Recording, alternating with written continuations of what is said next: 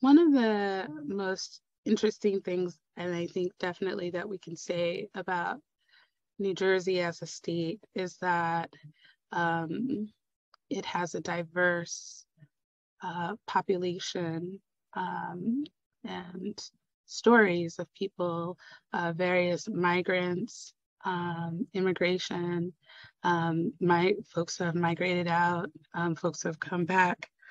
And one of the essential um, conversations that has really gone on over hundreds of years is the relationship of those who migrate or those who immigrate here um, to um, what they may consider to be their homeland. Um, this concept of the diaspora.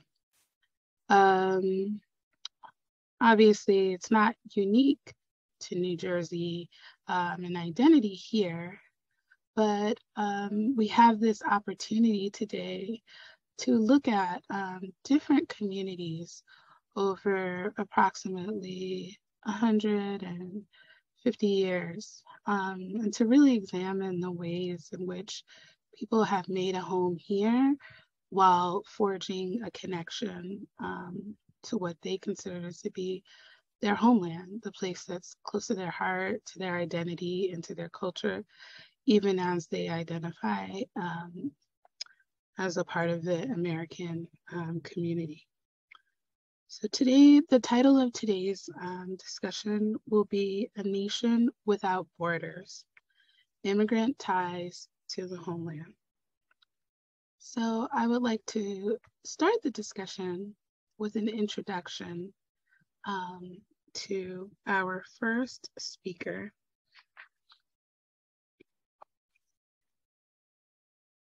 Please join me in welcoming Harvey Strum.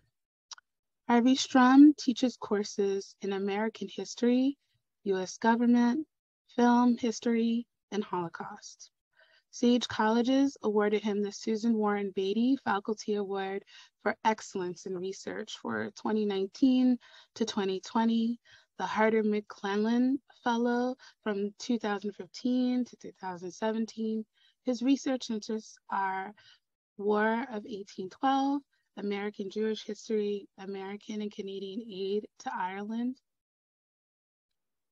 In 1847, 1863, and 1880, anti-Catholic nativism in the 19th century, and World War II. He is the former section chair for Democratic Theory, program chair, vice president, and president of the Northeastern Political Science Association and remains the section chair for international relations and American foreign policy for the New York State Political Science Association.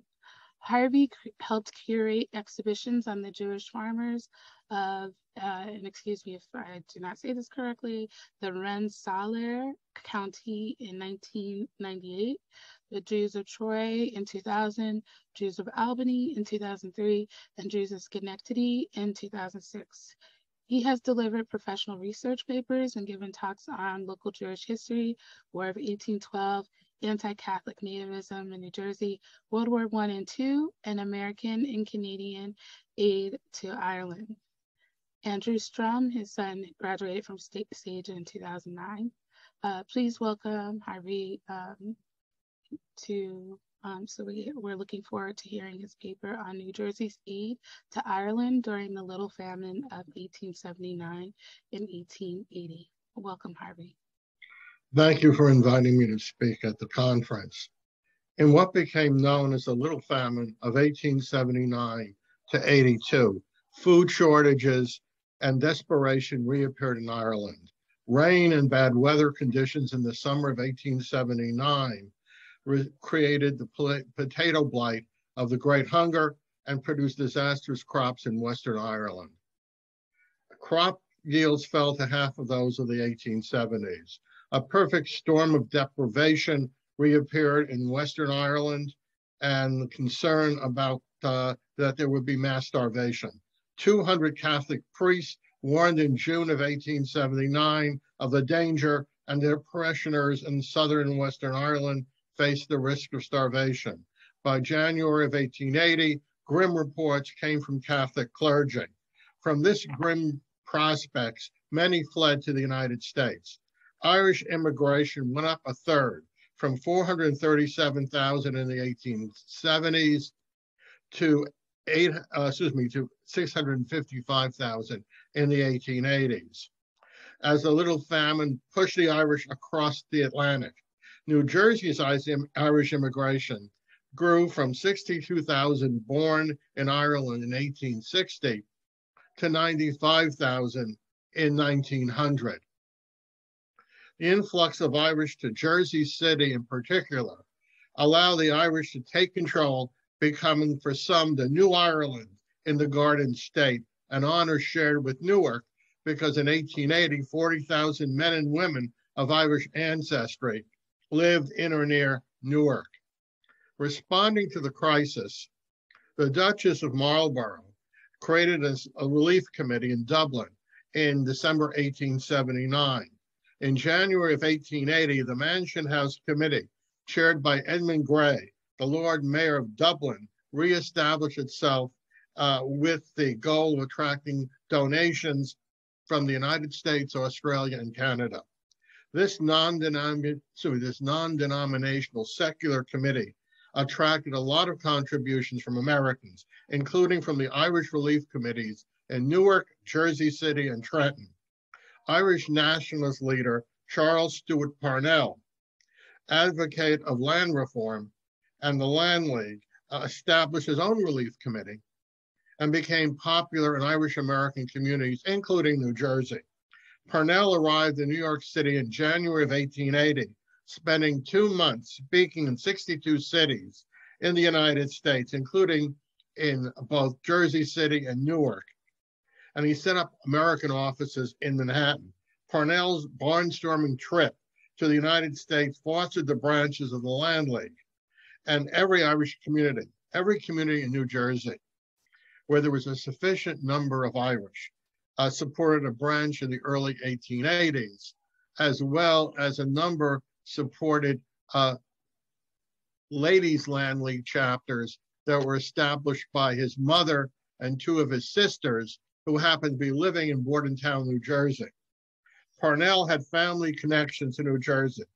Delia Parnell, his mother, an Irish American, and her father, Admiral Charles Stewart of the United States Navy, and grandfather, Charles Stewart Parnell, had an estate in Bordentown.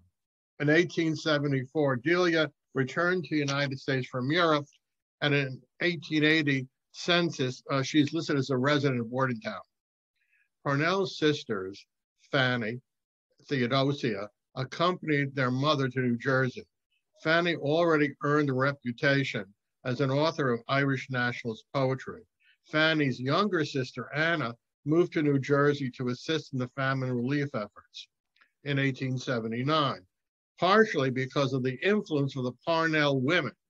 Bordentown forwarded to the Dublin Nation donations for Irish relief in October of 1879, becoming the first community in the United States to collect funds to help with the food shortages in Ireland. So New Jersey was first. Later in October 1880, the sisters established the Ladies Land League in New York City to raise money for the Land League and for famine relief. Delia assumed the presidency, and Anna and Fanny took on most of the organizational work. While her activist daughters received much of the public attention, Delia was a major advocate for Irish home rule in the United States, and she was dubbed the Lady Chieftainess. Fanny actively campaigned for the, uh, for the Land League and famine relief. Some of the chapters organized by the Parnell women included, by September 1881, two Land League chapters in Jersey City and chapters in Morristown, Millstone, Montclair, and Paterson. Single Irish women, in particular, joined the Ladies' Land League, especially working class women. Meetings provided an opportunity for Irish women of New Jersey to socially interact outside the narrow confines uh, of their homes and of their work. Unfortunately, Fanny died of a heart attack at the age of 33 at the Stewart family estate in Bordentown on July 20th, 1882. Members of the Land League and Ladies Land League chapters formed an honor guard to accompany her remains from Trenton to Philadelphia. Two years later, Delia Parnell sold the Stewart mansion and surrounding property uh, to her son, Charles Stewart Parnell of Wicklow, Ireland, for $20,000. A public meeting in Washington in January of 1880, including senators, congressmen, and justices of the Supreme Court, called for public support for famine relief. The meeting publicized the causes of famine relief. Several groups organized. And the residents of Philadelphia, organized a relief committee uh, took on a national importance, led by John Wanamaker. And residents in Western New Jersey uh, actually contributed to that relief committee. In New York City, several Jewish organizations, maybe several Irish organizations, in December of 1879, persuaded Judge Charles Daly, who led the 1862-63 campaign in New York, to lead a national campaign for Irish relief. The New York City Irish Relief Committee included a number of prominent New Yorkers, including William Grace, who soon became the first Irish Catholic mayor of New York City. Seeking to publicize the crisis in Ireland, the committee sent out 40,000 copies of an appeal to the American public. The New York Committee asked Americans of every nationality and creed to aid the starving Irish. Some of the residents of New Jersey also contributed to the New York Irish Relief Committee. However, uh, then to add further confusion, James Gordon Bennett Jr., editor of the New York Herald, created his own relief committee in February of 1880. Successfully stealing the limelight, uh, the Herald Relief Fund became the most successful of the various Irish relief committees in the United States, especially after uh, Bennett contributed $100,000. Uh, the residents of New Jersey contributed. In addition, in 1863, American bishops created their own separate relief committee and sent the money to either the Catholic bishop in Dublin or the bishops in different parts of Ireland, like our Pope. Following in the footsteps of Bishop Bayley's famine relief efforts in 1863, Bishop Michael Corrigan sympathized with the plight of the poor, suffering people in Ireland. In his pastoral letter, to the clergy of the Newark Diocese, he noted that several of our clergy have already made inquiries concerning the propriety of sending aid to our distressed brethren in Ireland. After citing an account of the Bishop of Killala about the distress in his diocese, Bishop Corrigan suggested each priest make a collection on St. Patrick's Day. Uh, and the Newark diocese would send the collections to the various bishops in Ireland. Some priests anticipated the need of Corrigan's pastoral. In Paterson, for example, parishioners at St. John's attended a concert for Irish relief in mid January, raising $1,100. Reverend William McNulty, born in Ballyshannon, Ireland, served as pastor for St. John's from 1863 to 1922, a record in New Jersey's Catholic history. McNulty sent the, the donation of $1,100 to Bishop Michael Logue of Raphoe for the distribution among the distressed people in the and your neighboring diocese. Orange had an overwhelmingly Irish population in the 1880s. All the parishioners in St. John's in the 1880s were of Irish birth or descent. H.P. Fleming, the rector at St. John's Parish, sent, uh, me, sent Bishop Logue the funds collected by my parishioners for suffering Ireland. Fleming also sent donations raised in Orange to Archbishop Edward McCabe in Dublin. Trenton's Irish lived in Irish Town in the Fourth Ward. Trenton's Little Ireland. Thaddeus Hogan, pastor of St. John's Church, collected funds in early February and sent them to Bishop Logue, hoping that the sufferings of the people would be rewarded in heaven because it is sad to witness the distress of the brave and religious Irish people.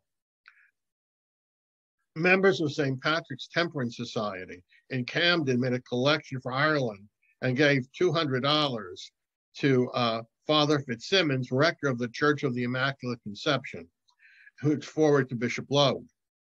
Uh, Father Smith Simmons followed up with a second donation from our people for the Irish sufferers. Churches in Ireland also received donations from an unlikely source, Mrs. Parnell's Relief Fund.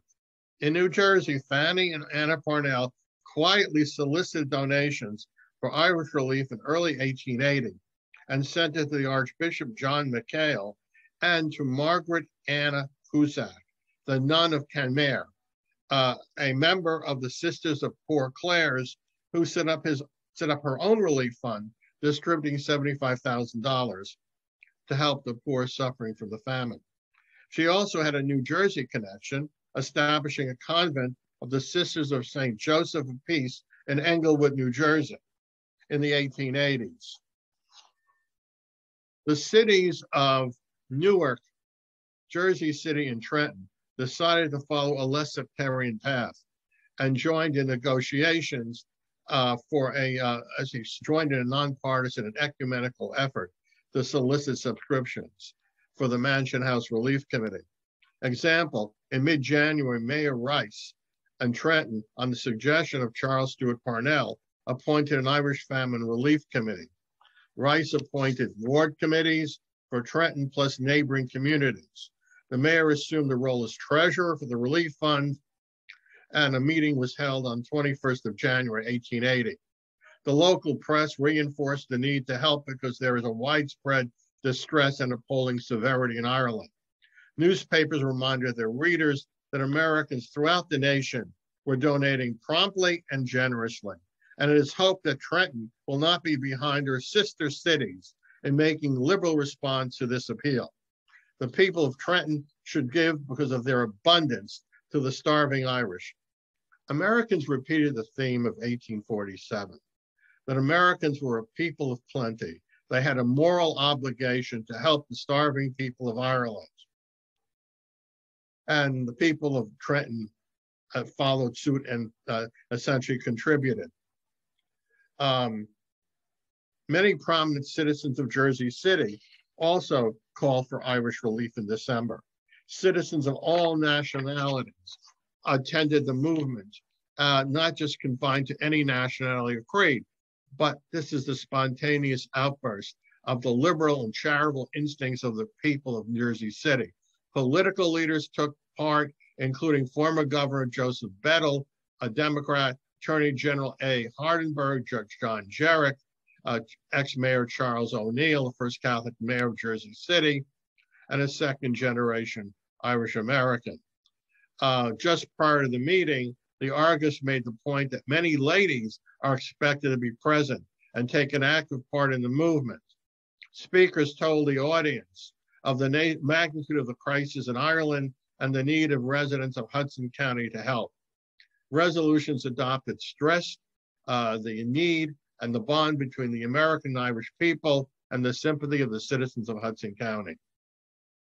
By the end of January, Mayor Hopper sent $1,755 to Mayor Gray in Dublin for the citizens of this city for the relief of the benefit of the famishing and suffering of Ireland. Events in Jersey City stress the nonpartisan and ecumenical aspect of famine relief. Public support came from the people of different ethnicities and religious denominations. And this again became, and also apparently in Jersey City, there was a significant contribution of women. Meanwhile, Charles Stewart Parnell and the Irish Land League associate John Dillon arrived in New York on 1st of January, 1880. He traveled to 62 cities campaigning for Irish relief. He spoke before Congress and met with uh, President Rutherford B. Hayes, a rare honor for a foreign political leader. Although he did not visit Bordentown, Parnell spoke in Newark and Jersey City. On the 6th of January, Parnell arrived in Newark to speak at the Grand Opera House. Delegates of all the Irish societies in Newark and Orange met beforehand to prepare for Parnell's visit because of the popularity of Parnell and the Land League movement. Parnell's reception in Newark was an imposing demonstration, according to one of the newspapers, as the large crowds of Irish Americans gathered in the streets near the train station, despite the fact they waited in the rain uh, to welcome the visitor from Ireland. Members of Irish militia, militia companies appeared, um, politicians, newspaper editors, the Catholic clergy, and Irish Americans. Residents paid 25 cents to see Parnell, and the Opera House was filled with an audience consisting of not just men, but many ladies, uh, waiting to see and hear the rock star of Irish nationalism. Introductory remarks expressed the gratitude of the Irish American community for Parnell's visit and the support of all Americans for Irish relief and the cause of land reform, which is what Parnell spoke about. And he called for aid essentially distributed without distinction of creed or color. After his speech in Newark, Parnell went to City, and once again, uh, Irish Americans in New Jersey identified with Parnell, the causes he advocated, and the plight of the Irish people. Three times in the 19th century, Americans established voluntary relief committees to aid the starving in Ireland, and the residents of New Jersey took part in each of these efforts to aid the starving. Historian Christine Kinealy noted in 1880, Americans' aid was prompt and generous. Contemporary observers agreed the Mansion House Relief Committee's directors and board concluded all ranks and classes of Irish people were inspired by the unexampled generosity of America. The people of New Jersey in 1846 47, 1862 63, and 1879 80 gave us part of uh, a people to people movement from the United States to Ireland. This was not foreign aid from Congress, but the pennies, nickels, dimes, and dollars donated by the people of New Jersey of all religious denominations, nationalities, and political persuasions to help the starving people of Ireland. America emerged as the leader in voluntary international philanthropy in the 19th century, and the people of New Jersey played an important role in aiding the people in Ireland.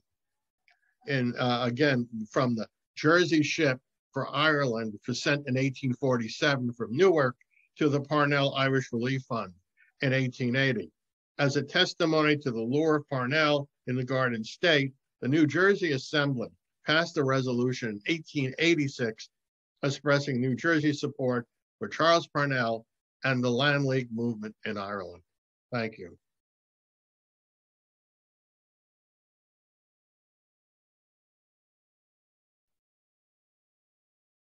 Thank you very much, Dr. Strum.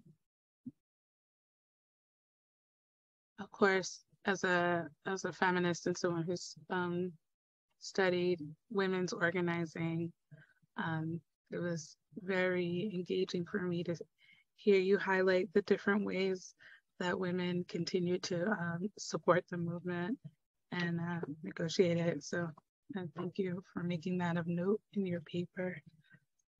I'm sure people will have questions. Um, again, we encourage people to put any questions in the Q&A box and we will address them towards the end of the program.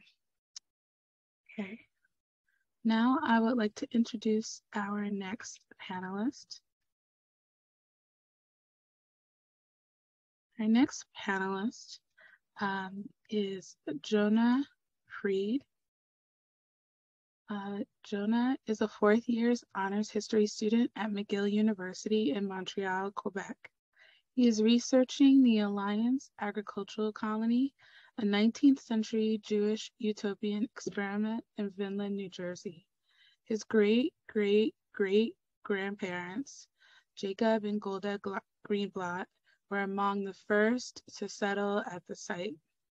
Jonah's investigations have taken him from Cumberland County to the YIVO Institute for Jewish Research in New York City. I hope I said that correctly. From archive collections in English, French, Yiddish, and Hebrew.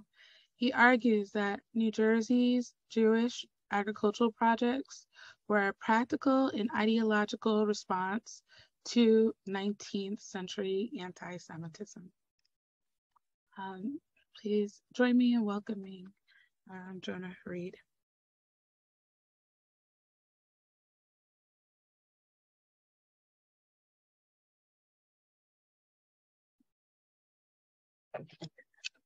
Hello, everyone. Thank you for that introduction. it's YIVO Institute in uh, Yiddish. So uh, yeah, I'll jump right into it. Thank um, you. Uh, yeah. So uh, first, I'll give some background on uh, Jewish immigration to North America um, and why New Jersey in particular. Uh, then I'm going to discuss some of the Jewish aid organizations that helped to control this influx of Jewish immigrants from Eastern Europe. Uh, I'm going to examine the motivations behind some of the philanthropists who supported these projects, including the Mansion House Committee, actually, which uh, Professor uh, Strum mentioned. Uh, and uh, I will then uh, ask why New Jersey became this American Zion, this location where so many Jewish agriculturalists consolidated and really formed a almost society within a society. and I'll end with some more uh, philosophical questions about what this means for uh, Jewish America. Were these Jewish Americans or were they American Jews or something else entirely? Uh, so why focus on the 1880s when having this conversation? When I pitched this project to my professor here at McGill, he said that I should really start in the 1870s. But the 1880s are distinct because in this 10 year period, Jewish immigrants mm, uh, came to the United States and uh, Canada as well for largely ideological reasons, not just economic reasons, and arguably not even for economic reasons. There may have been economic reasons to stay in Russia during this time period. Uh, important groups in uh, Ukraine at this time, the Pale of Settlement, were the Am Olam, among others, but the Am Olam is especially important for the Jewish agriculturalist movement because uh, Am Olam, which means the eternal people, uh, argue that to redeem themselves in a spiritual and also political sense, Jews needed to return to the land, to begin cultivating as their ancestors had, and so forth. Um, and they were active from uh, 1880 until 1887 before largely dying out for reasons I will explain shortly. Um, so that's why I focus on the 1880s. It's also uh, the 1880s when we see the infamous May laws, a series of restrictive bills in uh, the Russian Duma, uh, which is their sort of parliament, um, well, was, uh, and uh, uh, also essentially enacted by fiat by the Tsar uh, that largely prohibited Jews from engaging in certain practices, especially establishing uh, new agricultural colonies. This was a large movement in the earlier part of the 1880s in southern Ukraine. Um, and that basically meant that Jews who believed in this ideology had to emigrate to have their ideology come to play. Uh, 1900, which is sort of the end of this period, is also when the Alliance colony in New Jersey, which is where my family is from and one of the most important Jewish agricultural colonies, uh, that's the year that they were transferred to the Baron de Hirsch Fund, which is another organization that I will speak about very shortly. But I see that as kind of the end in this ideological phase. Uh, largely because they emphasized more industrial trades, more training people to be American, not this sort of utopian experiment. So, with that context, um, where were they coming from? Where were these Jews who were settling in New Jersey uh, coming from? They came from the Pale Settlement, which uh, was not just Ukraine, it was really all of uh, Congress Poland, where Jews had historically been able to settle. Uh, that's sort of a, an overgeneralization, but it, it, it helps. Uh, and most of the people who made up the Am Olam were from the very south, so Bessarabia, Kherson, uh, close to the Black Sea. That was the breadbasket of uh, 19th century Ukraine. Uh, these Jewish uh, agriculturalists uh, created a lot of produce for the Russian army, um, among other things. But they were trained in agriculture. And that's important because most of the later Jewish immigrants, people who emigrated in the 1910s, 20s, 30s, uh, after the Holocaust as well, most of them were uh, from more northern Pale, from places uh, like Warsaw, or uh, if, if, further from Lithuania, Vilna. Uh, they were more manufacturers, more uh, craftspeople. They lived in cities. They were not necessarily agriculturalists. Ukraine at this time was really a wild west uh, where people were engaging in farming, uh, herding, that kind of thing. And that's important context. Uh, it's also important when we're having this conversation to avoid anachronisms that are often attributed to this period. Uh, this is before the Bund, which was a radical socialist movement that uh, became very popular among um, Jewish people in this area far later in the 1920s and 30s. Um, so this is before that. Uh, they were very opposed to emigration in particular, which is why they're worth mentioning. Uh, and then this was also before Zionism, which uh, Jewish nationalism, which of course was focused on returning Jews to the land of Israel, although the Am Olam did settle in Israel. Um, and that's an important conversation as well. Zionism as a widespread political ideology didn't become a force until the 1890s. So 1880s, we're still in a period of possibilities before that.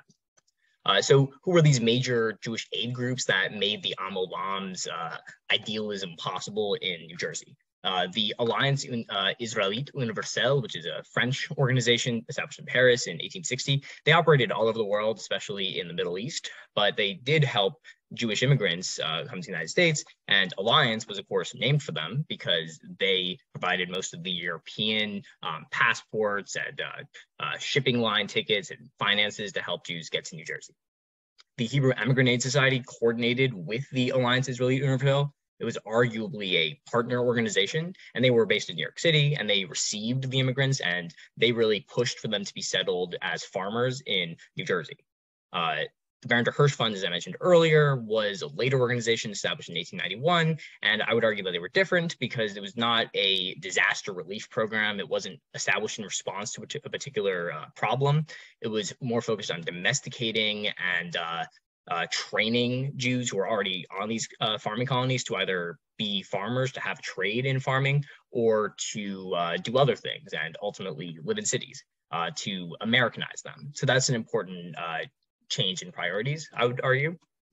And maybe we should see them as NGOs. Uh, this is, uh, you know, I risk anachronisms when I call groups like the Alliance Israélite Universelle an NGO. Um, at least in this period, today it is still around and it is an NGO. But they did lobby governments. They relied on private donations for most of what they did. They invoked human rights rhetoric, and they were diplomatic agents in their own right. Uh, they were involved in all kinds of causes, from uh, Irish relief, actually, as uh, Professor Strum mentioned, um, to Jewish relief, of course, because they were Jewish organizations fundamentally. Um, and uh, that's important in a period before the United Nations, before the League of Nations. Uh, they were really the forebears of uh, international diplomacy in terms of human rights, anyway, during this time. Uh, and this is just the protocol of a international convention on Jewish uh, immigrants uh, that was held in the 1880s. So why were they engaging in this kind of philanthropy? Um, the 1881 pogroms were extremely decisive. Uh, it really catapulted uh, thousands of migrants to North America, leading to these agricultural colonies in particular. Um, it was also a project of mass media hysteria in uh, Great Britain, which of course controlled so much of the world. The British press was very important. Uh, they were really motivated by a lot of Russophobia. I can't get into it too much. I can answer questions about it, but they arguably exaggerated some of the pogroms that were uh, perpetrated against the Jews. And uh, that's it's an important historical fact to reconcile ourselves with. So British Jewry had an important role in uh, this process. Uh, and this is just uh, a list of immigrants and where they were sent, uh, some of the places, including Alliance um, and a map. So New Jersey, as a result, almost became a American Zion, an American um, Israel. You know, it actually looks kind of like Israel when you think about it. Uh, but Jews were very densely consolidated. They were close to big cities like Philadelphia, New York City, which is of course, important because they were major Jewish centers. It helped to maintain a kind of Jewish consciousness. Um, and there were many ideologues who wanted Jews settled in this fashion, very close together, so that they would operate as a sort of society within a society.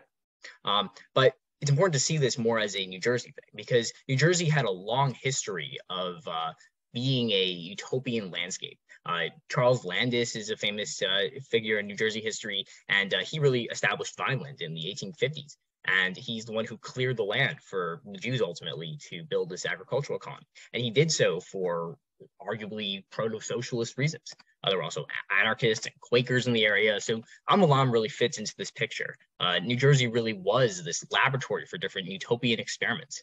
Um, and the Jews were not exceptional in that way. Uh, why they, uh, why this confluence of utopian projects is something I'm researching. Um, I don't have a positive answer yet, but it certainly makes sense. Um, and it's juxtaposed really with industrial New York City at the same time, Philadelphia, of course, sort of the dark, gloomy industrial settings compared to these agricultural colonies.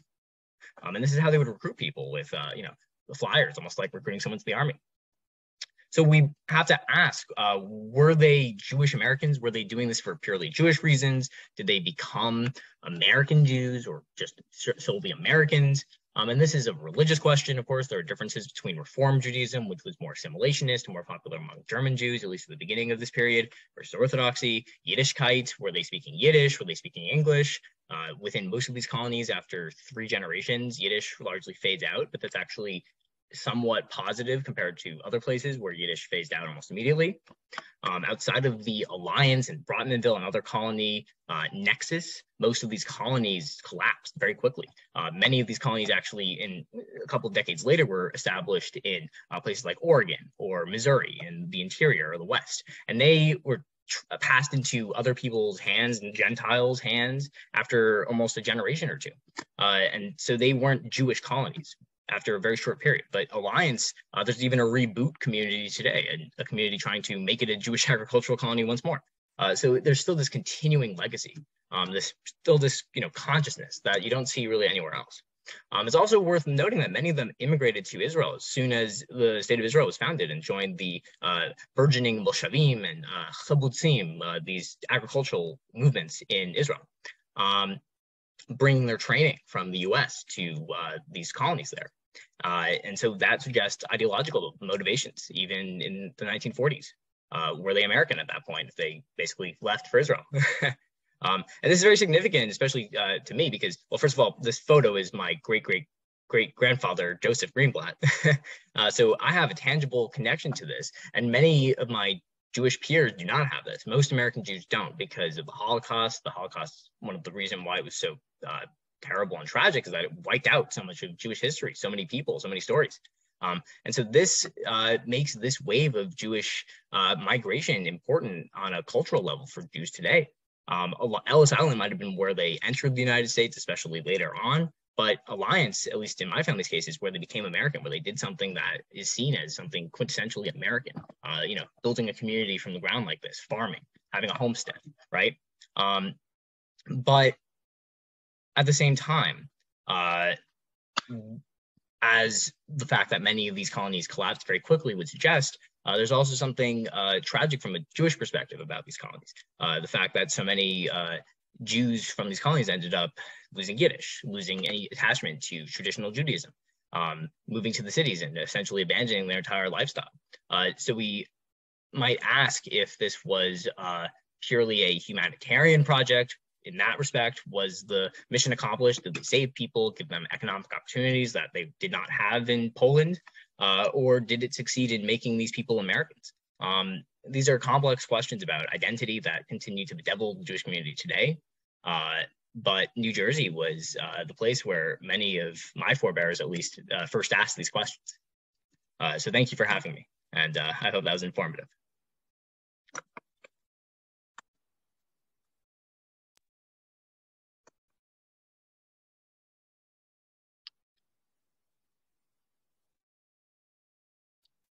Wow.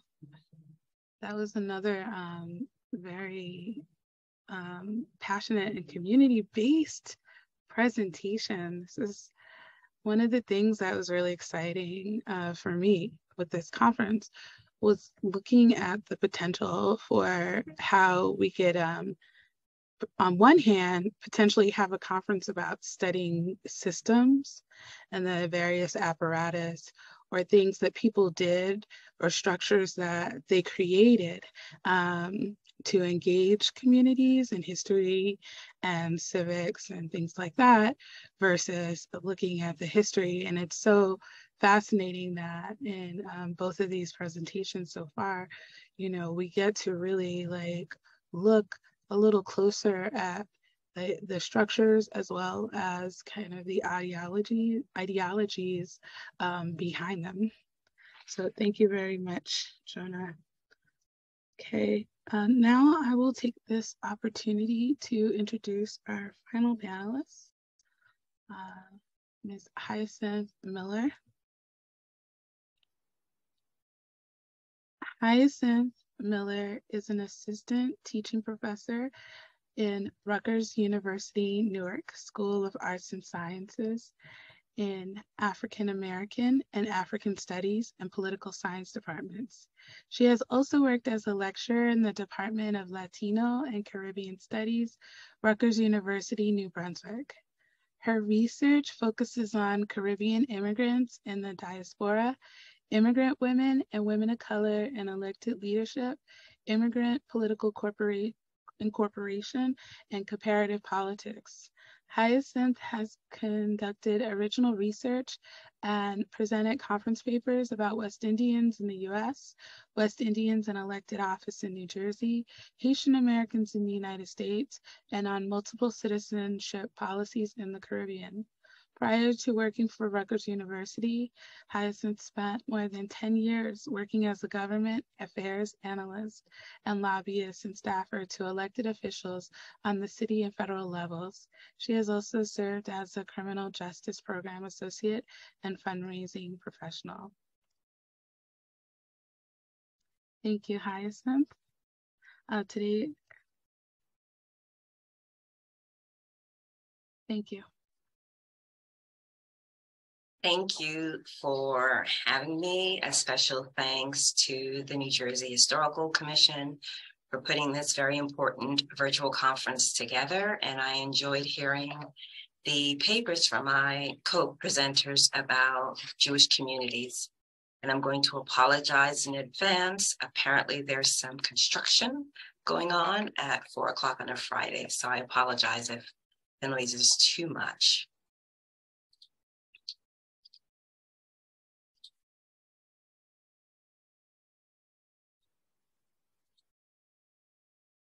So for today's presentation, I'm going to actually talk about a new old community, um, the Caribbean community. And my presentation's title is The New Jersey's Caribbean Political Elite. As Lorraine said, I'm a professor of Africana Studies and Political Science, and I come to this research as someone of Caribbean background by way of New York, but I'm very much interested in documenting the lives and stories of Caribbean people in the ways that were not um, in the ways that they were not able to be documented, as um, my co-presenter Jonah said. So at the risk of losing the identity and losing the people, uh, my uh, individual purpose is to make sure that these stories are not lost. So for today's presentation, I'll give a little bit of background about the Caribbean community, about the Caribbean. Um, I'll trouble the use of my term Caribbean and West Indian and how I find them both interchangeable and problematic. I'll talk about the elite leadership that's based in New Jersey, also the Caribbean organizations in the Caribbean diaspora from New Jersey that's has already been making a significant impact in both the Caribbean and in the communities from where they come, and also ideas for future research projects that I'm thinking of. So this is an ongoing project for me. I began it some time ago when I noticed that when I worked for a Caribbean born elected official that her experiences were somewhat different than those of African Americans. And so Caribbean people, well, I define Caribbean people as those from this Caribbean region it has um, more than 7,000 islands. And for the purposes of this conversation, I will not be discussing those of Latino descent. So I'll be talking about those who are Francophone, Dutch Atlantic, uh, English speaking, as well as French. And then um, I'll try to um, explain how and why those from Panama, possibly Costa Rica, Honduras, Nicaragua, also the South American coast can sometimes be included in this discussion of the Caribbean. So before I launch into a discussion about Caribbean immigrants in Canada and New York City, um, why, why is Caribbean and West Indian sometimes both uh, problematic and sometimes interchangeable. So Caribbean people are from the Caribbean. That's not up for argument. However, those who are called West Indian are, are from the non-English speaking Caribbean. So oftentimes when people are doing uh, research on West Indians, they will separate Haiti, Guadeloupe, Martinique. Sometimes they will separate Suriname, which is Dutch speaking, and the ABC Islands, which are Dutch speaking. So, so there's a lot of political geography and um, matchmaking happening within the Caribbean region. So I try to include um, all the other islands that are not listed. And also when I get to the section where I talk about the actual population, it's very difficult trying to track down this population because they have different names in the census.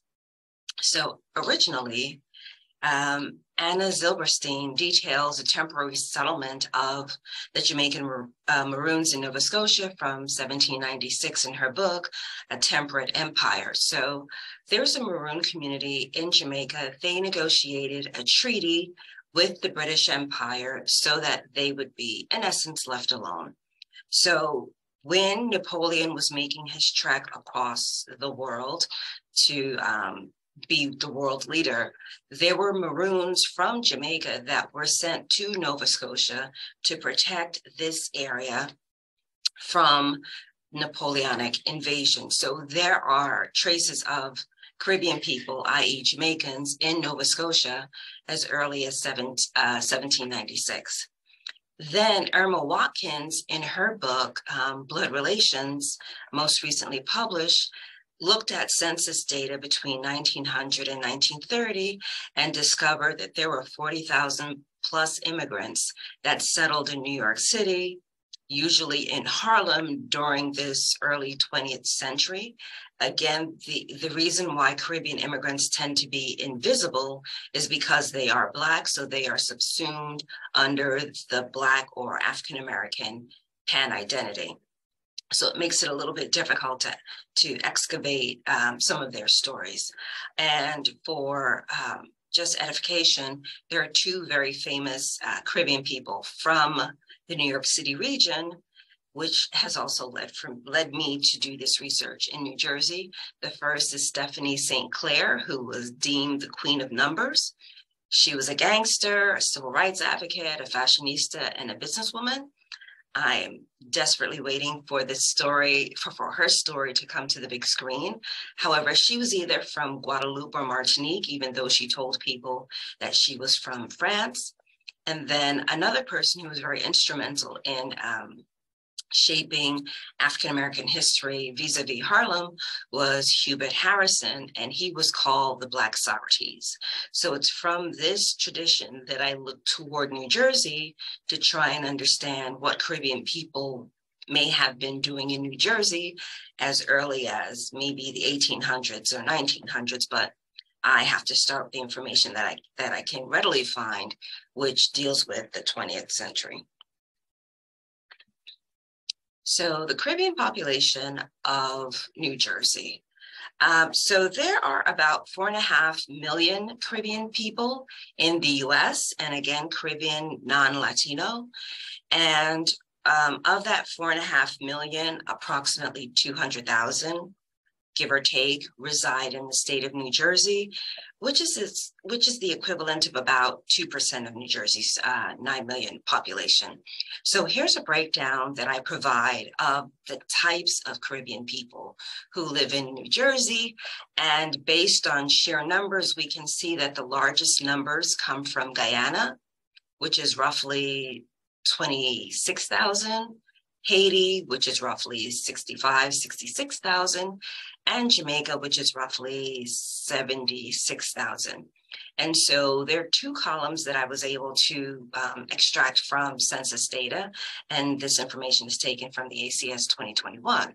So with the first column, we see those who are identifying of West Indian background, who said that this is their only ancestry, and these are the numbers here in the first column. So we see that according to the census that people are from Bermuda are smaller than people from the Dutch West Indies. Again, the Dutch West Indies could be Aruba, Bonaire, Curacao, Suriname, St. Martin, St. Eustatius. These are notably called the Dutch West Indies or the Dutch Atlantic.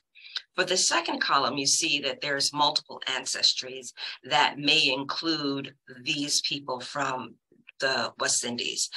This West Indies other column signals to me that these are people from St. Vincent and the Grenadines, maybe St. Nevis, uh, I'm sorry, St. Kitts Nevis, and some of the smaller islands that whose population don't quite measure up high enough to be considered um, their single category.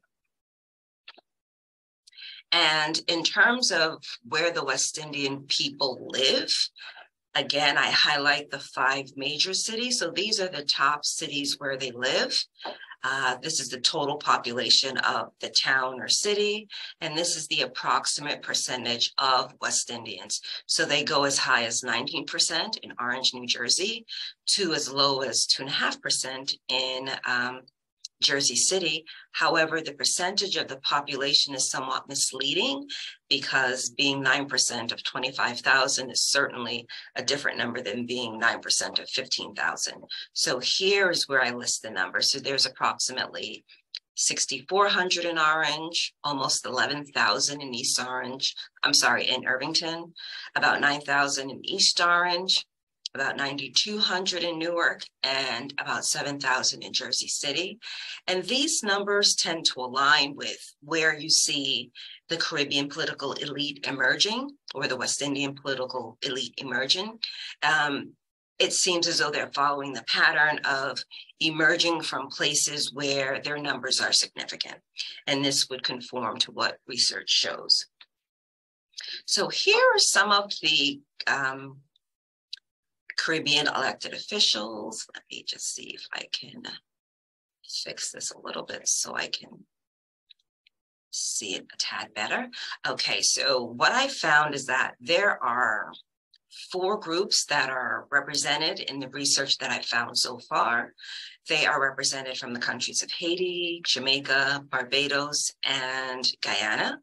Again, that would conform with the numbers that are being presented. And so here we have Charnette Frederick, who's a councilwoman from Irvington Township, Essex County. She is a scientist by training. She's a PhD from um, Seton Hall University. And she has been in and around elective office for about 10 years or so. Uh, she's very intertwined with both the Haitian community and the African American community. And as a matter of fact, she's actually in charge of, well, she's chairwoman of the organization um, that charts how many Haitian American elected officials there are in the country. So she's extremely active. And uh, when I approached her about possibly seeking higher office, you know, as a good politician does, she said she'll weigh her options.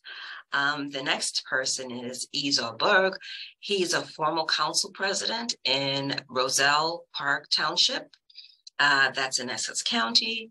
He, he is former, so he had been a member of the Roselle community, Roselle Park community, and um, his background is also in science.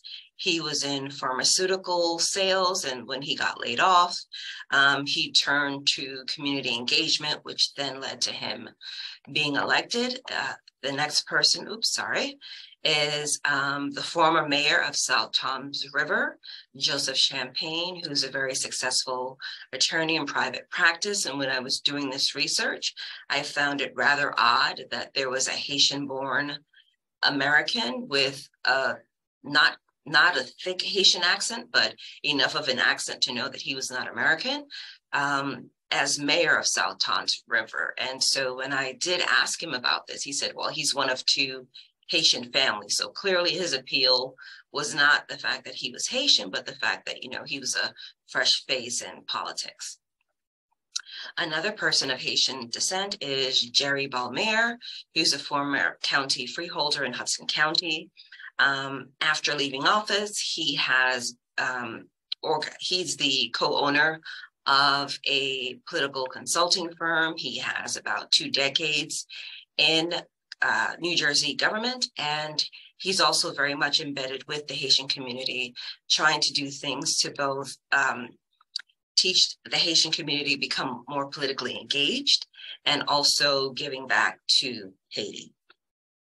The final two people who I have found who are part of this, this political, this burgeoning political elite in the state of New Jersey are our most recent Associate Justice, the first African-American slash Caribbean American woman, Fabiana Pierre Louis, and also Sybil Elias, who is a judge in the municipal court. The next group that I'll be talking about are um, members of the Jamaican community. There are two women and one man so far. And again, I did not, there's a lot of information to mine, so I did not go as, as far down as the school board, but I'm sure when I get the opportunity to, there are more people who may be considered African American that actually have their ancestry from somewhere else. So the first person I'll talk about is Carolyn Chang. She's a former mayor of Westampton, of Westampton Township in Burlington County. She's also uh, in the administrative, uh, in an in an administrative position with the um, Black Women's Lawyers Association of New Jersey. She also has a very successful practice focused on family law, and she is very much embedded in the community um, she argues that there are not a lot of West Indians or not a lot of Jamaicans in Westampton. So she has sought to connect to Caribbean communities throughout the state. Next, we have Elsie Foster, who's a former council president and acting mayor in the borough of Highland Park, which is in Middlesex County. Elsie Foster has been a part of electoral politics in Highland Park for almost two decades. Um, she is currently serving in an administrative capacity as well in Middlesex County. She is an entrepreneur. Um, so in looking at the people who have risen to the ranks of um, this, this level of political engagement, I start to see particular patterns emerging about their demography, um, how much education they have, where they might have gone to school, uh, the types of things that they do prior to and while they are elected officials. And formal there's William McKoy from the city of Paterson in Passaic County. He's a former councilman and he served, I want to say, about four terms. And he was he's very instrumental in platforming the Jamaican community in Paterson. And I'll talk about one of the ways he was successfully a part of doing that in a few more slides. So the last presentation of the elected officials that I was able to locate are um, three, two from Barbados, one from Guyana. So we have Adrian Mapp, who is, sorry, not the former mayor, but actually the current mayor of the city of Plainfield. He was elected in 2021 to a historic third term. No one has done that before him. There is a significant, well, relatively significant population of um, Bajan people in Barbados from whom he gets um, his support, but he argues that he is um, as successful as an elected leader, not only because of his ties to the Caribbean community or the Bajan community, but because the people see him as someone who gets the job done. Next, we have Vera Greaves, who only served one term as a city councilwoman in Plainfield. She argued that, you know, politics was just not her thing. She was excited about it, but then realized that she's best serving, she's best serving the community through her real estate practice. And last but not least, we have Chico Ramchal, who's a former councilman of Jersey City, Hudson County, and he hails from Guyana. His term was short lived. However, he's very much engaged in the Guyanese goings on in the state of New Jersey.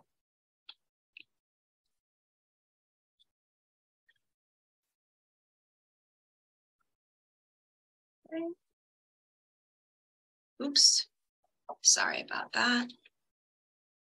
Back to presentation.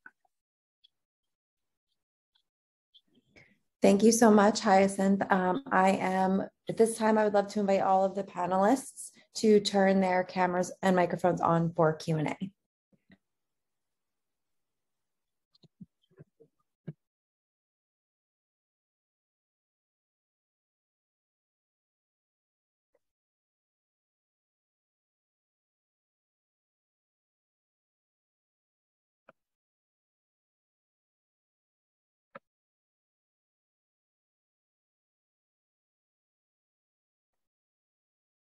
Wow. So first, I'd like to say thank you to all of the presenters. Um, I um listening to the presentations. I was making um, just different connections um, between um, the stories and just listening to the different um, ways of um, organizing, but then also just kind of like relating it to other kind of um, what we call larger narratives and seeing how there are these opportunities for us to really like explode kind of these larger narratives where these communities have been left out of those dialogues um, and ensuring that they're a part of um, the larger stories. I think someone said that in the last, during the Teaching Asian Studies um, panel. Um, so I guess we will kick off this question and answer session. We'll start with the question and the Q&A, and then I guess we can um, just proceed to have a conversation um, about a couple of things. So um, I would like to encourage any folks who are currently uh, watching to please share any questions you have in the Q&A and we will tend to them. So I see here says, thank you, Mr. Fried, for a great presentation. Can you expand a bit more on why New Jersey became the location for these utopian communities? What kind of Jewish community here before the 19th century ones you described?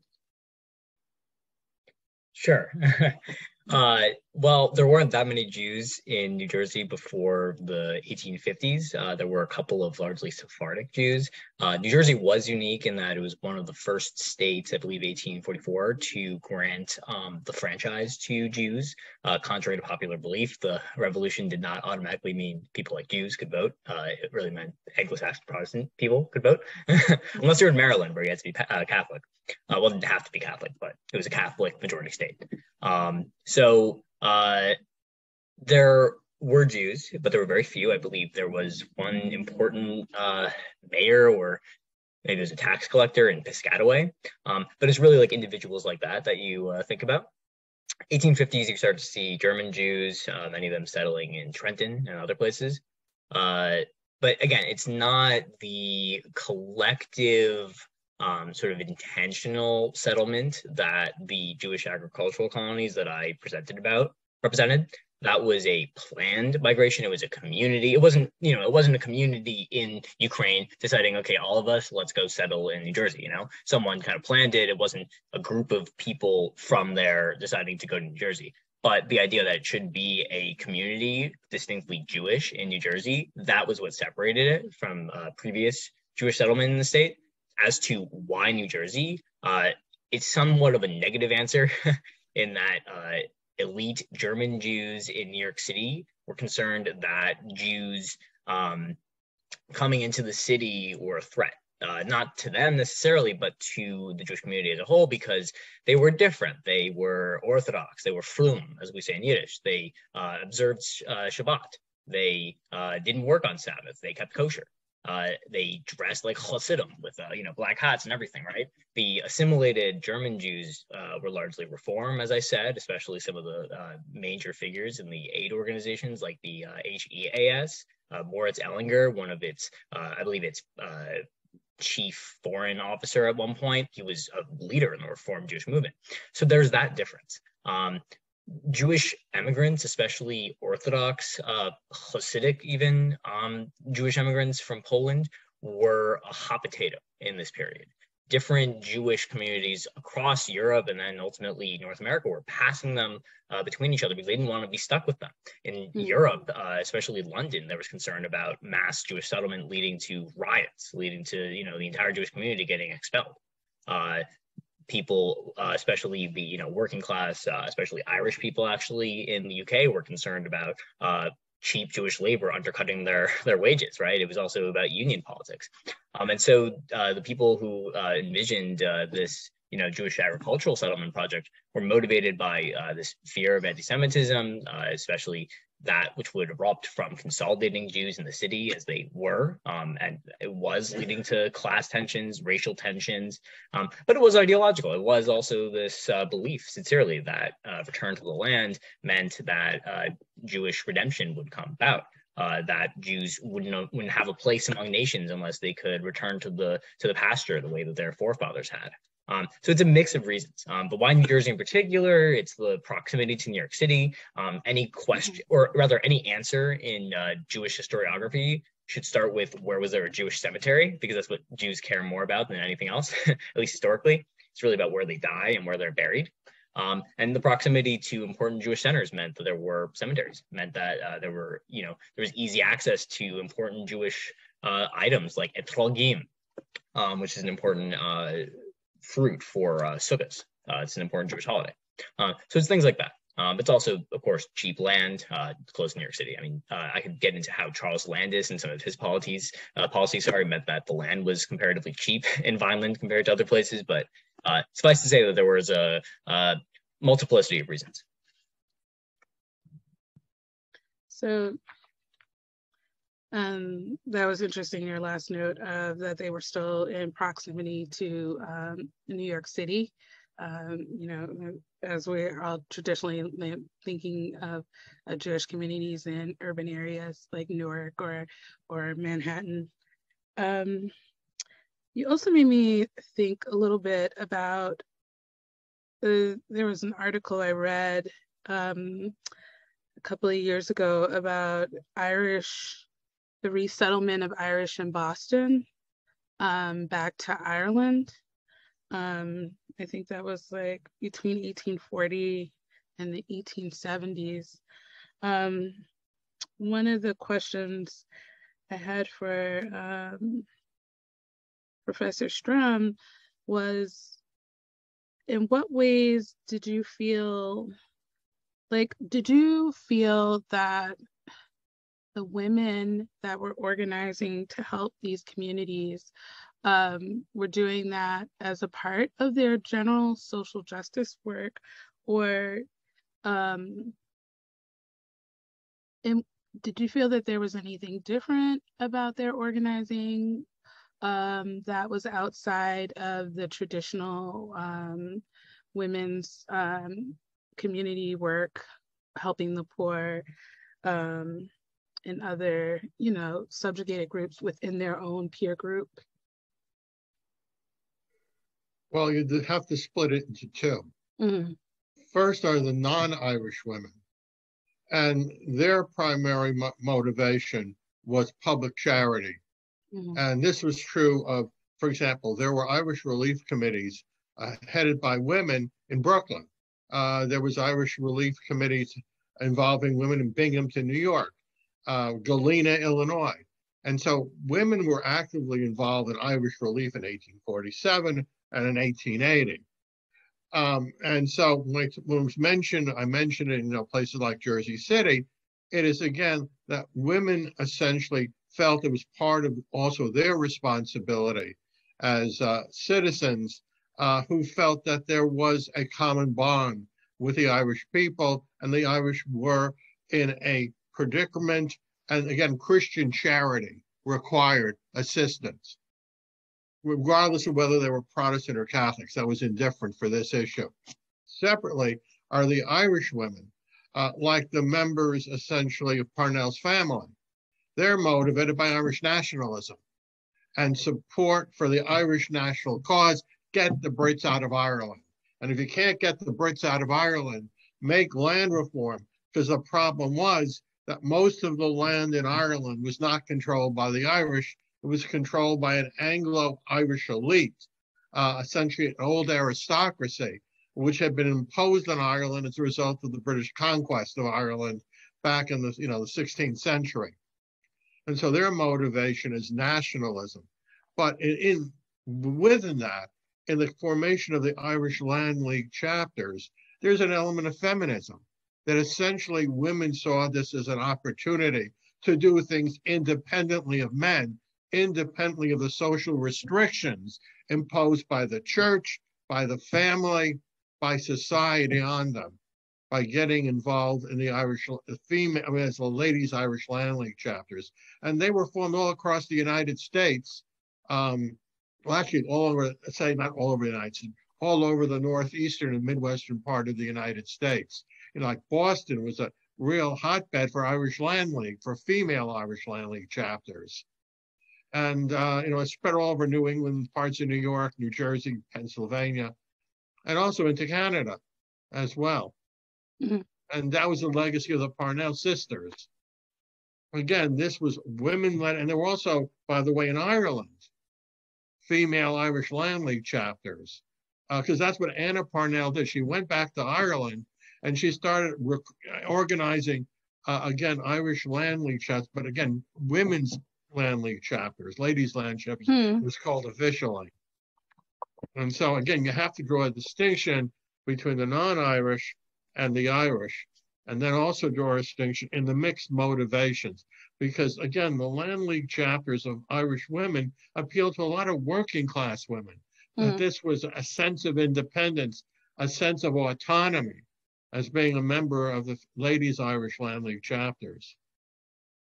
So I guess, I mean, that leads me to another question. I guess I'll ask all of you, starting off with um, Professor Miller, is just um, I think often when we think of immigrant immigrant and migrant communities, we always think of direct service, um, donations to Homeland um, and other like sites. Um, one of the questions I just had um, that kind of piggybacks off of Professor Strum's for uh, Dr. for Professor Miller and for Mr. Fried is in what ways do uh, West Indian communities um, advocate, or how are they able to advocate politically um, in their homeland, islands, territories, um, countries um, from here, from Plainfield, Newark? Um, is there really that opportunity, or is it mainly um, direct service? So, with the Caribbean community in the diaspora, period, and particularly stateside, they are able to interact with the political folks at home. And in many cases, they fundraise for their political candidate in their um, sending country or mm. home country. And the other thing that um, gets a little bit more complicated is for those people with more than one Caribbean ancestry, they're hmm. advocating for more than one thing. So they do that politically through um, direct support of candidates. They do that hmm. through remittances. They send home money to do any number of things, including to uplift the communities from whence they came. And they also do uh, direct services like medical care, um, uh, disaster relief, the uh, volcano that recently erupted in St. Vincent and Grenadines. They mobilized very quickly in New Jersey. There's an organization, New Jersey for Haiti, that does a lot of organ- organizing around disaster relief or any number of issues that affect. So yeah, mm. they're they're they're, they're um, super sensitive and hyper vigilant about helping uh, the home sending country. Mm.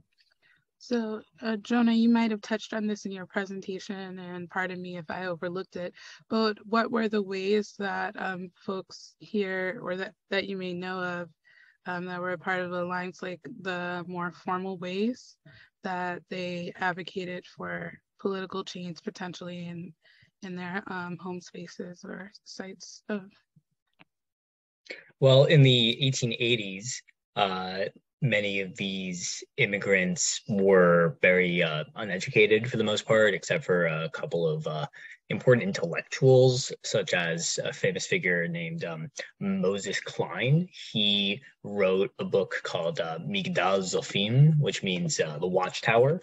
Uh, hmm. he argues that uh, agriculturalism, like what was going on in uh, New Jersey, uh, he was in the Alliance colony, should be a model for uh, the Jewish uh, revival in uh, Palestine. Um, mm. In hmm. fact, he argues that uh, the Jewish Agricultural Project in New Jersey was the same movement as the kibbutzim at that point in uh, uh, he wrote this in 1889. So yeah, kibbutzim, uh, the first kibbutzim really Mhm. um, in uh, Israel, and uh, of course there is no home country, right? Mhm. I mean, well, well, Israel, but uh, you know, spiritually, whatever. But Yeah, uh, that's a but yeah. yeah, I, I know that. I mean, that that's a that's a we're getting into like you know political stuff, but um, in 1880, uh, Jews saw themselves as an exile. Um, and to, I mean, there are still communities who see themselves that way, but that's also political. Mhm. but um, at this point, Jews, the the uh, my the professor who advises me, Professor Gershon Hundert, uh, he has a term that I like called exilic consciousness. Uh, Jews were always in exile, especially you know from a religious perspective.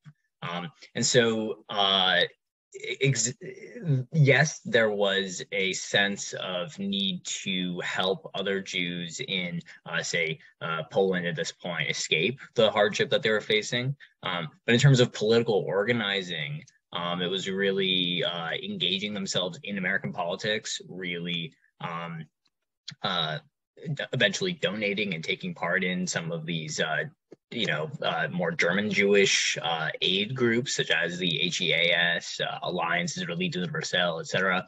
Um, but later on, uh, in the 1890s, 1880s, and such, you do see uh, some of the first Zionist organizations in New Jersey and also in North America, starting in um, Alliance, for example. Agadoth Zion, I believe, was the first one. Um, in fact, I'm pretty sure Moses Klein was its uh, first leader, also in 1889 or something like that. Um, so yeah, that goes to show you that there is a certain, uh, you know, political um, solution there. I mean, the Am Olam movement was a political uh, question, right? It was a answer to uh, political anti-Semitism, um, and the reason why they settled in New Jersey, at least I would argue, um, and as some historians have argued, uh, as opposed to New York City and other places, was also political. It wasn't just, uh, you know, New Jersey's nice. in fact, the soil was terrible. It was awful. Many, uh, it's actually a huge surprise that the colonies didn't collapse because the soil was just terrible. Uh, they were settled there because the people who were paying for it didn't want them to settle in New York City because that would be politically inexpedient. Mm. Uh, so uh, yeah, it's, I mean, it's difficult to avoid uh, reducing the settlers in these colonies. Um, we shouldn't deny them their agency. Um, they were absolutely political beings. Uh, I wouldn't say that they weren't, but in terms of, uh, I mean, nothing like you know organizing for political candidates back home. I mean, they didn't have that uh, political liberty, unfortunately. Yeah. Um, so I guess one of the questions um were at that time to close is I wanted to find out if you all had any final comments, but more more so I think you both you all have expressed various interventions that you think are necessary um in the work um that we explored briefly during this great panel. But um I I would be curious um, just to maybe hear just some um, responses to what do you feel are the most kind of overlooked aspects of what you've presented that uh, should urgently be a part of our public education system, our public discourse about the communities that you've discussed. Well, I would argue that one of the aspects of the Irish American experience and also um, of the American experience was that the United States in the 19th century was the leading country for international philanthropy. That Hmm. in the 19th century, Congress um, and presidents, whether they were Democratic or Republican, generally opposed any kind of public aid. No public appropriations, with one or two exceptions, were ever appropriated by Congress. This all depended on voluntary aid. Either part of it were remittances that Professor Miller just mentioned, coming from the Irish community during the Great Hunger of 1847 or the Little Famine of 1880 or the food shortages of the 1860s.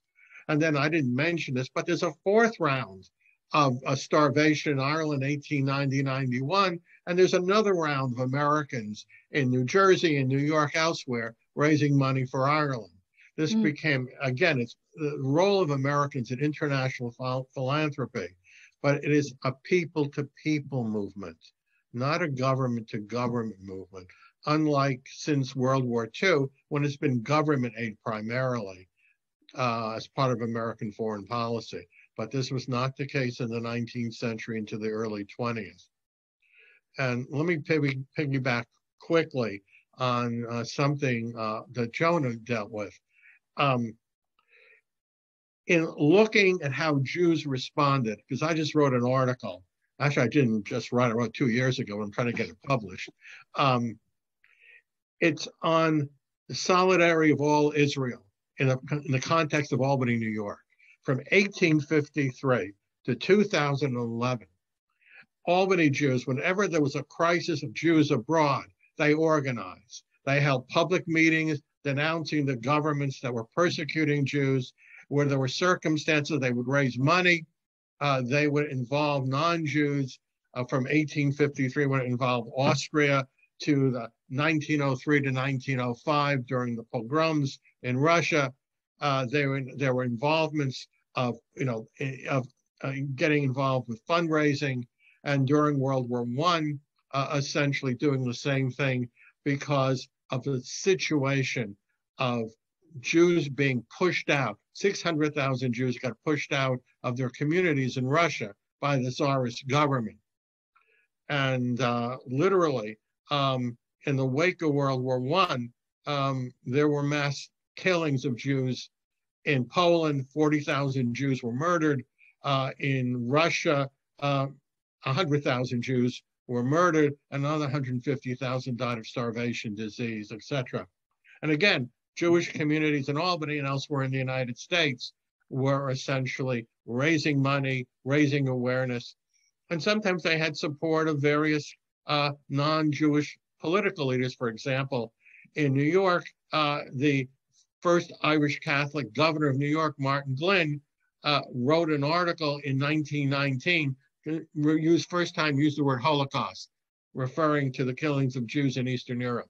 Hmm. So again, this is something that you know the Irish did, something Jews did, as far as reacting to what's happening. In case of Ireland, specific old country, in the case of Jews, it was wherever Jews were that were in trouble. Hmm.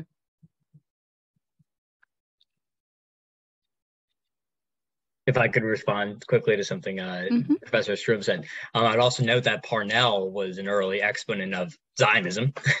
he visited uh, parts of uh, southern, uh, well, southeastern Europe, uh, Bessarabia, and uh, argued that Zionism was the only solution to uh, the Jewish question. Um, so that's also an interesting uh, relationship between the Irish uh, cause and the Jewish question, the Jewish cause um, during that time period. Um, Albany is also an interesting point. Um, I will say that uh, Jewish philanthropy is a broad historiographical question.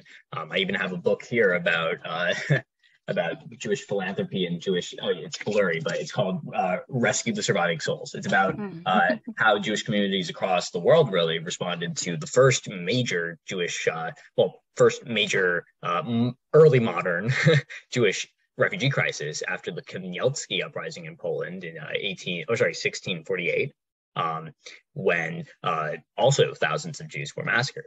Um, so uh, it's worth asking if it's a American thing or if it's a Jewish thing, um, in the or both within the Jewish context specifically. Um, certainly, when we're talking about other diasporas like Ireland, of course, um, it becomes more complicated. Um, but uh, I would also point out that um, the Purim Association, which was a major uh, conference of Jewish donors, uh, well, not just Jewish donors, um, in the 1880s, although it actually started decades earlier, um, they, uh, first of all, had non-Jews, as I mentioned, but elevated the Jews' status, as they put it, in uh, American society.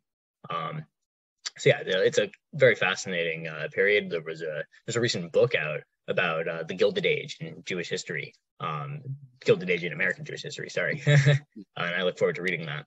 Um, but uh, just to answer your question briefly, if I have time, uh, Professor uh, Williams. Um, well, no, okay, Ms. we're good. Ms. Williams, but um, We're you, good. We're good. You you ha- you you can you can make a a a, a, a succinct comment, and then um, is I, and then I guess Professor Miller will close out. sorry, Professor Miller. okay. Uh, well, yeah, no, just the quick thing is, I mean, obviously, uh, I think yesterday the FBI warned about uh, threats to synagogues in New Jersey. Um, so I would, uh, I think that in terms of, uh, you know, how we could change the way this kind of history has changed, um, I think it's important to emphasize just how uh, complex anti-Semitism is and uh, how uh, anti-Semitism manifested in the 1880s as well. Um, tons of- the- I would I would just say that uh, when we talk about anti-Semitism in this country, it's often just the Holocaust that people learn about. They don't learn about anything else. Yeah, it's true. Um, you asked a very interesting question, and I want to highlight the fact that in Jonah's presentation, he said that these groups, all of these groups, have had to navigate complex identities. So, in listening to both Mhm. you and Dr. Strum speak, you know, I can't speak that way about the Caribbean because they, they were colonized and they were Mhm. enslaved. So anything prior to that, they are very small pockets of people who experienced the freedoms, you know, the freedom to get up and go somewhere else to seek this sort of relief that both of you talked about. Um, but just in terms of Black people, the Black diaspora, I think what's important in the work that I'm doing is I am hyper vigilant that people need to be disaggregated. Like, you know, not all Black people are from the US, not all Caribbean people are from the Caribbean. And so I think it's important to give people their individual identity while also placing them within this political, uh, I guess, pan ethnic title of being part of a particular community. Um, a future research project, you know, if anyone wants to give me money to look this up, um, I'm look I'm looking at blacks from Europe because there are a contingent of blacks in Europe whose identity is erased once they come to the US because of the, you know, the strict um, binary of being black or white and, and not not appreciating the nuances and complexities of being, you know, a black other. And this is in no way um, trying to dilute the political integrity of being part of this pan-ethnic group, but you know, people like their differences or like their own cultures to be platform and centered and researched and documented for posterity's sake. Mm-hmm. Mm-hmm. And um, just in closing, you know, definitely one of the things I I thought about in just closing comments and just piggybacking off of Professor Miller is that a lot of people just do not understand the ongoing conversations within groups and between groups about nationality, about identity, about solutions to oppression. Um, I I I wish I had a penny for any time anyone's discussed the word African American or Black or et cetera, and how folks just don't know that there are forums. I mean, in the 1800s, there were forums about discussions about titles, what solutions. People have been discussing solutions, let's just say, uh, for a very, very long time. And I, um, I, I thought of that when um, uh, Jonah was speaking, you know, just how folks don't understand in one group, you can have these multiple perspectives, multiple solutions. I know it was such a big thing to me in high school when I learned even about the development of Zionism and how people were proposing different homelands. And I was 17 and I was like, oh, you, there, there were different potential homeland and other safety space. Like I was, I was just like boggled by that idea. Um, and so um, in closing, I would just like to say thank you all. Uh, I like I would like to echo the executive director of the New Jersey Historical Commission. I'll just read her words. And I would like to say thank you all for just this great presentation. Um, there's are just so many fascinating and impactful narratives that you all have shared.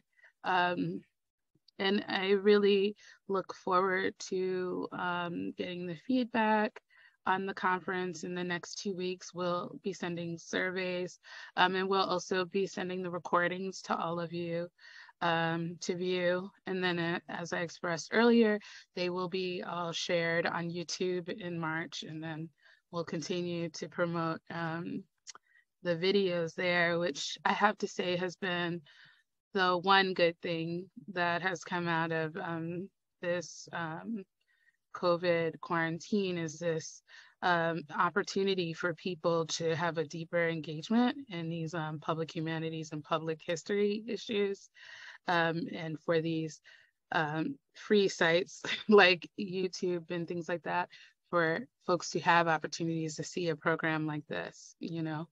Um, so, and on that note, and then I'll just close. Twyla uh, indicated absolutely more educated education is needed to end hate and understand the complexity dealing with our American heritage and history. Thank you for the contributions of, of the at the conference. And with that, I will say good night um, and please look forward to our emails in the next couple of weeks. And um, thank you all and have a good day.